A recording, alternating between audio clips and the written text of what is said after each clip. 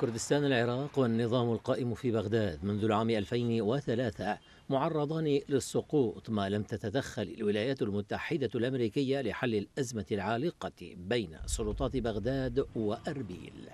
كلمات لخصت رسالة أرسلها مؤخرا رئيس حكومة كردستان العراق مسرور بارزاني إلى إدارة الرئيس الأمريكي جو بايدن وفقا لمجلة فورين بوليسي.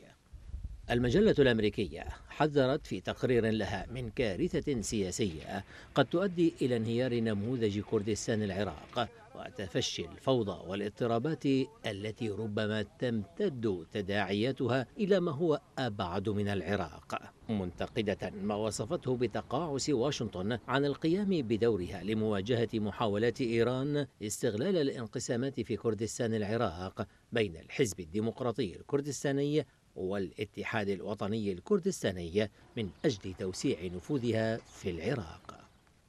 فورين بوليسي أشارت إلى أن خيارات الاتحاد الوطني الكردستاني وعلاقاته الوثيقة مع إيران والميليشيات الموالية لها في العراق بل وعلاقاته أيضا مع تنظيم حزب العمال الكردستاني الذي ينشط ضد تركيا انطلاقا من الأراضي العراقية كل ذلك من شأنه أن يقوض استقرار كردستان العراق ويدفع بالبلاد نحو مزيد من التبعية للنظام الإيراني بينما تنشغل واشنطن بمنافساتها المتزايدة مع الصين والحرب الأوكرانية ولا تولي سوى القليل من الاهتمام لما يجري في العراق.